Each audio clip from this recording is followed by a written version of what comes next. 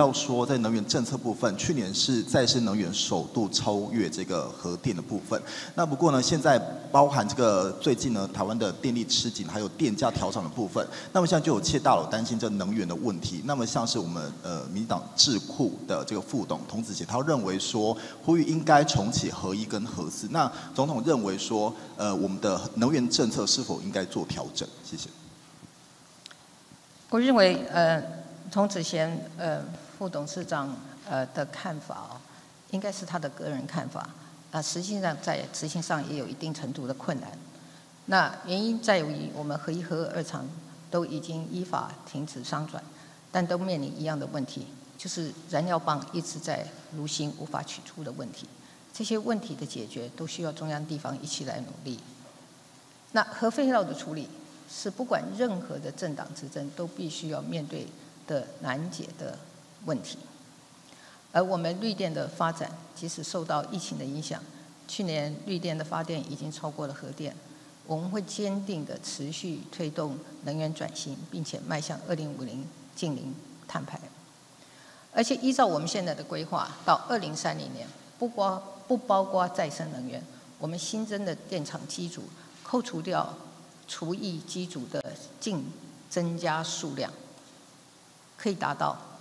九百一十万千瓦，那么增加的量将近核一加核二的三倍，所以我可以告诉大家，台湾不会缺电，但我们所需要，但是我们需要持续的投资储电设备的建制以及电网韧性的建构，来提升以及确保我们供电的稳定性。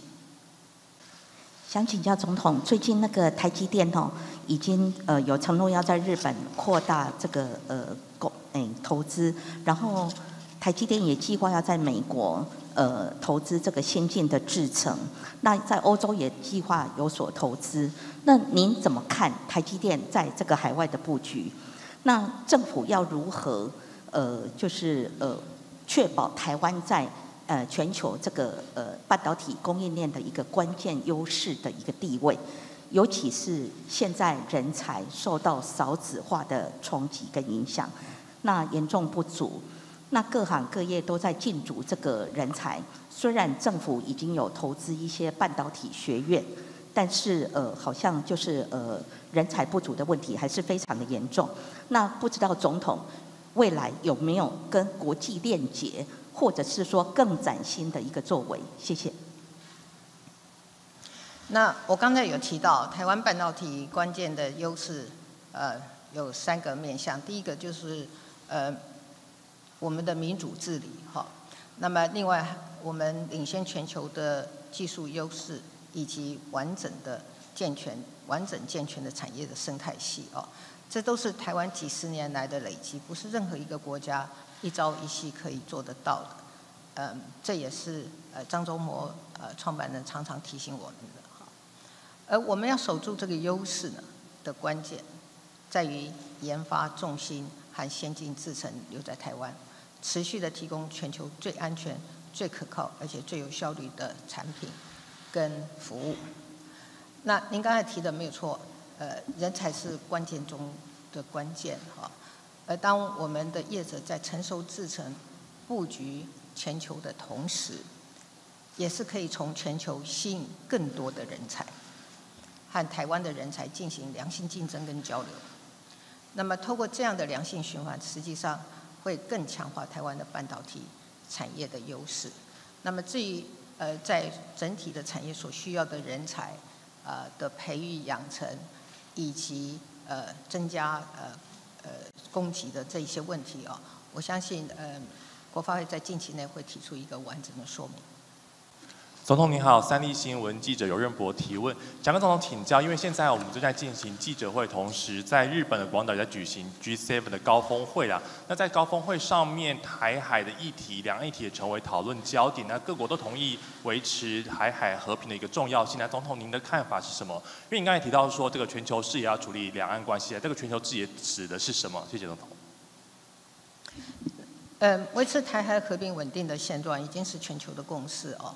那现在的台湾是世界的台湾，我们不仅在全球供应链上有关键的角色，台海还是世界贸易重要的生命线，而在地缘上更是区域安全跟民主自自由的前线。好，那就像岸田首相嗯不久以前所说的，他说台湾的安全已经是全球的共同议题。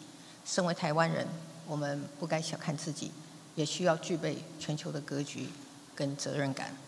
台湾也会和全世界所有理念相同的国家共同来努力，一起来促进区域的和平、安全、跟稳定以及繁荣。总统您好，一电视记者陈愿挺提问，想要请教一下，因为总统有提到说台海问题已经提升到全球层次，那因为美国国防部长是说会透过总统的。拨款权来提供五亿美元的额外军援给台湾。两个问题想要请教总统，第一个是，这是因为台海情势有什么特别的状况或是改变吗？第二个是，冯世宽主委说可能会付出不可预期的代价，想请教总统怎么看？谢谢。嗯，冯世宽主委讲的他已经自己都澄清了哈，我就不再在这一桌多做解释哦。那呃，您刚才所所讲的所谓的特别状况，我我并不觉得有什么特别的状况哈。那这一次的美方的援助啊，主要的是因为疫情等原因呢，有些军售的交货多少有迟延的情形啊，所以这些援助计划是为要让我们在整体战力的强化哈，不会因此而受到延宕，所以我们要感谢美国行政部门以及国会对我们的支持。至于在项目上啊，目前我们的国安跟国防部门跟美方正在进行整体的演绎，到时候我们也会让国人知道。总统好，联合报提问，想请问高房价的议题哦。之前赖副总统有提到说房价在降了，想要请问总统是否同意这样的看法？那另外是总统有提出过八年要新建二十万户的社会住宅，那目前是有已经到七年了，达成率只有六成出头。青年负担不起高房价的问题依然在社会存在，请问总统怎么评价您这七年来的居住正义成绩？谢谢。嗯，高房价确实是很多人的难题哦，但是健全房地产市场安定这个居住者的权利哦，是我们执政以来一直坚持的原则哦。因此，我们多管齐下做了很多的努力，在抑制房价，例如。我们立法限制囤囤屋以及其他可能炒作房价的作为。那又一如呃，我们近来有一个交通方案，那这个方案呢是整合各县市和各种不同的交通工具的费用，让通勤者的交通负担可以降低，进而扩大他们居住点的选择。那么希望因此呢，主要的都会呢，都会区可以减压，那房价也会受到一定程度的。呃，抑制哈，啊，此外呢，这个产业均衡发展也会让人口不再聚集在既有的都会区，而能够较分散的分布哦，对于房价也有一定的抑制，也有一定的帮助。那这个呃，我们在过去在产业政策上也会注意，也都注意到它呃的新的分布点哈。那在供给面方面呢，呃，就如同刚才讲，我们推动新建社会住宅跟包租代管哈。那我们呃是在呃，我们确实有二十万户，但是这二十万户里面哦，有十二万户是呃要新建的哈。那我们的社会住宅的呃步伐会越来越快哈，因为主要的就是当我们开始的时候，有很多的法规还有基本的建制要做哈。那同时呢，我们呃在开始这个计划的时候，不论是中央政府还是地方政府哦，都有。一定程度的呃呃，就说呃在经验呃必要累积的情况下，速度会慢一点，但是后来会越来越快哈。那我们现在预计哦呃到呃二零二四年底哦，就是已经呃新建的新建完成，正在新建中，那么同时呃或者已经发包的，就是已经会确定呃新盖的啊，应该可以达成我们的目标哈。那从除了社会住宅的这个呃供给之外哈，那我们也希望呃未来有一些呃呃这个呃平价的呃住宅的选项哈。那我在这里我也特别讲，社会住宅是需要比较长的时间的累积。啊，当社会住宅的数量达到一定程度的时候，对房价会产生一定的抑制的效果。所以呃，各国都是这样，社会住宅啊，它需需要时间来累积，只是我们呃要持续的去呃找寻呃更多的可以开发社会住宅的地点跟机会哈。那除了从供给面，也就是社会住宅跟其他的平价住宅的供应之外，我们也要从需求面来减轻，呃，这个住屋者的负担哦。那所以在过去一段时间，我们透过租金补贴，还有房贷支持方案等等，来舒缓我们年轻人跟弱势族群的负担哈。我不能说这些努力已经完全的达成目标，甚至还有相当的路要走哈。但是我们不会停止这些努力，也会陆续的提出做法，从更多的面向来减轻人民住屋的负担。总统好，我是民事新闻李佳华，想问总统说啊，近年来国际局势的变动之下，那台湾下一个阶段的国家领导人，那总统认为应该要具备哪些特质？那请问赖副总统有这个特质吗？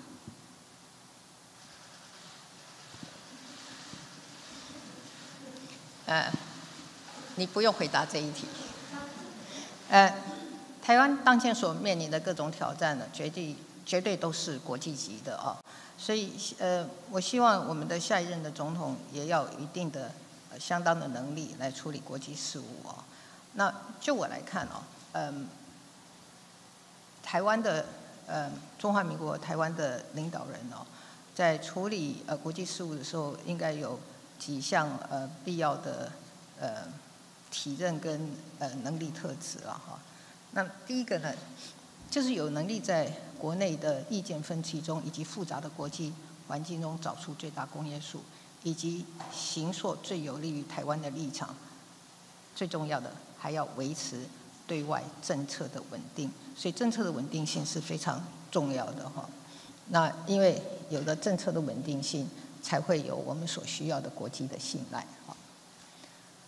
第二，呃，要有一定的沟通能力，这个包括在外交场域的沟通，还有在做战略沟通，甚至于跟人民的沟通都很重要。哈。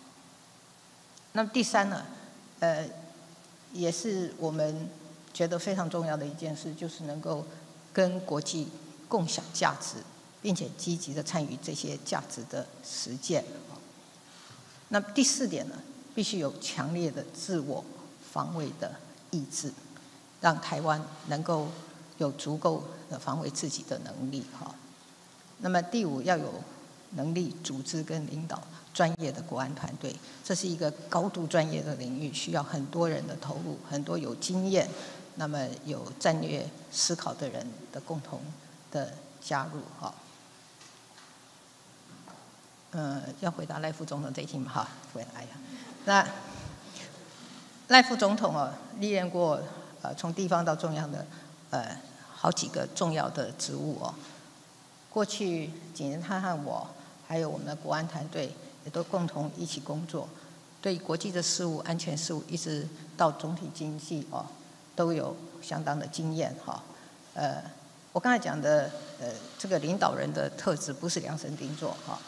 但是呃，我认为呃，赖副总统呃具备呃相当程度的这样的条件。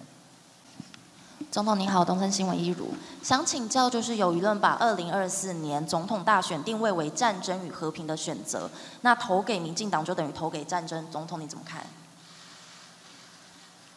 嗯，战争哦，不是全世界的选项，也不是台湾的选项哈。我刚刚有讲到。维持和平稳定的现状，不仅是全球的共识，也是我们台湾的主流民意。那么，这也是我们不分党派的共同责任，更是我们两岸的共同责任，也是我们呃全球的期待啊。那台湾的任何的政党跟政治人物都应该在这个共识上共同来努力，而不是为了选举的利益来呃。贩卖战争恐惧，甚至利用恐惧来煽动台湾人民，拿我们的自由民主去交换。总统您好，TVBS 邱婉柔，想先问一下，您觉得自己是大小姐吗？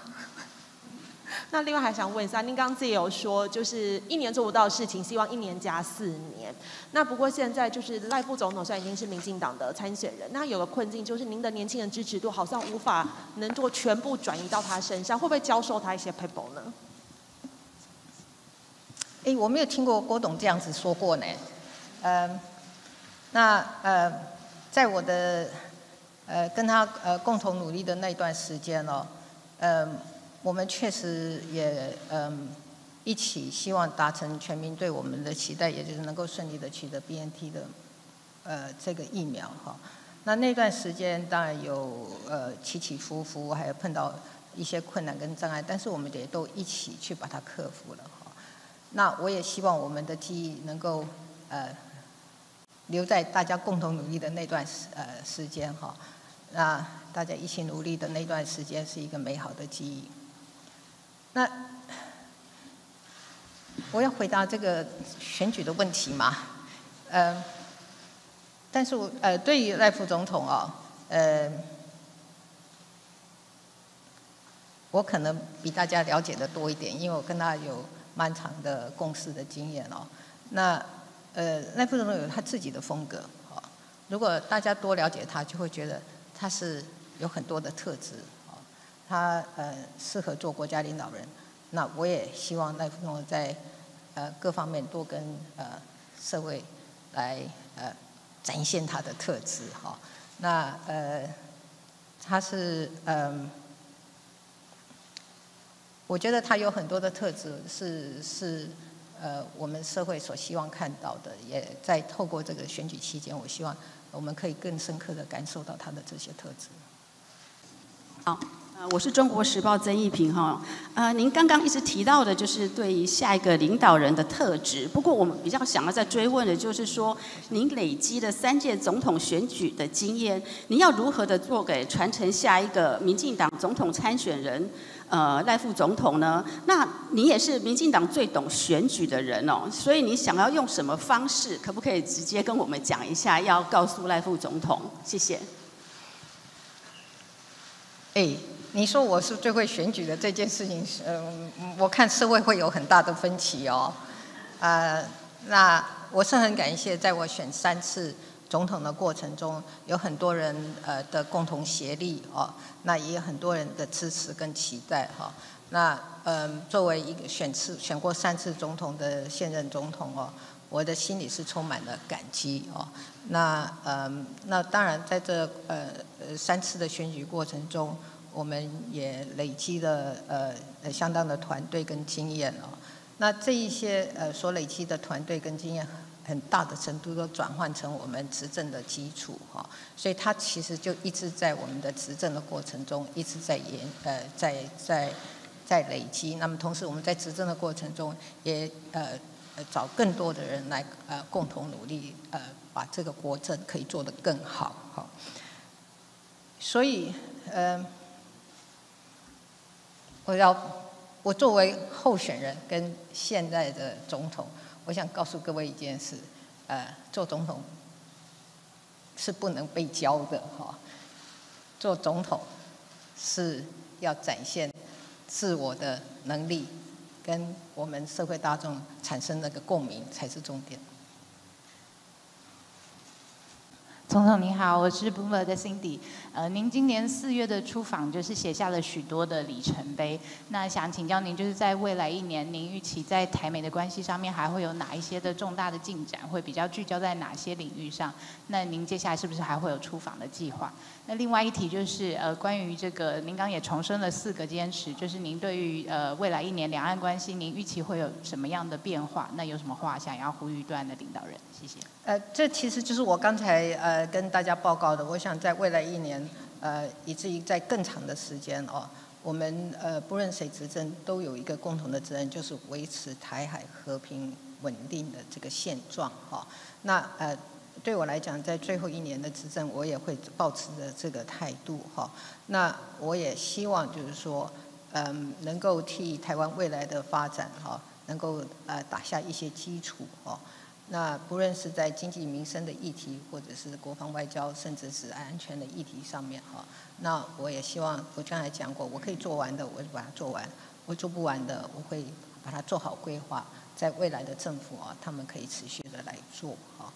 那嗯，对外的关系呢，尤其是对美的关系，我们都是长期的保持一个沟通的状况。那呃，我们会与其他的国家呃持续的合作哈，来共同维持这个区域的一个和平安全的一个状态。总统您好，我是中央社记者温桂香。总统，您刚刚有提到哈，现在剩下最后一年，你会做好规划。那我想请问一下，你目前最想做或最急迫需要处理的呃事情有哪些？那这中中间是不是也包括，呃，就在野阵营最近提出的朝野领袖的政党会晤，还有包括啊媒体各界都非常关心的涉变议题？谢谢。最后一个是什么议题？哦，那个，嗯，我在嗯。未来哦，呃，其实要做的事情其实是蛮多的哈。那当然，我刚才也跟各位报告过，就是说在呃对外的关系上，我们维持我们政策的稳定，跟各方保持沟通。那也希望这种处理的机制跟模式哦，呃，未来的总统可以做参考，甚至于沿用哈。那呃，在民生呃经济议题上，其实有很多打底的工作还要持续的进行哈。那嗯。比如说，呃，我们现在的住宅的问题，我们做了阶段性的处理，那下一个阶段还要再持续的来解决这个问题，因为这个问题，呃，是呃台湾的社会很关注的议题，也是年轻人关注的议题。但是它的解决，它的问题的累积是累积了很长的一段，它的解决也需要持续性的啊，在每个阶段我们投入资源啊，用政策用资源来缓解这些住屋者的负担嘛，哈。那这些都是我们持续要做的，而需要做的打底的工作，我们也会来打底来做。呃，所以你最后的那一题，我好像还没开始想哎，也没有想过这个问题。那呃，我呃特别要讲的就是说，呃，我们呃在最后一年还是要呃注意到我们现在呃有很多的呃基础建设哦。我们也希望能够把它做好哈。那这几天各位有看到我们呃呃去看这个台湾的很多的呃供水的设施哈。那这个就是我们前瞻基础建设计划的水资源的开发的一部分嘛哈。那这个都只是一一个总统只能呃就他八年的任期尽其所能的去做哈。但是他这个是一个台湾长期的这个累积哦。呃，他长期要处理的这个议题哈，所以我也希望在每一个阶段的总统，他都能够啊持续的在努力，来确保我们这个呃对于水资源的这个呃的供应啊，跟呃跟开发都可以呃持续的努力，因为我们面临的这种极端气候的挑战，不会因为我结束任期而结束了，它会持续的，甚至至于呃挑战会更严重。好，谢谢总统。那呃，我们的记者会到这边，那谢谢大家今天的出席。有有没有我我漏掉了什么？哦哦哦，嗯，如果你问我说我们思考这个问题，我告诉你，如果没有的话，那是不可能的了哈。那我一直都有思考这个问题哦。如果呃呃大家都有意愿，也愿意呃有有合适的机会，我们都可以来谈一谈哦。呃，重点是呃。我们大家都要有一个认识，就是说要有一个认知，就是政党对内是可以有竞争的，但是对外还是要团结一致。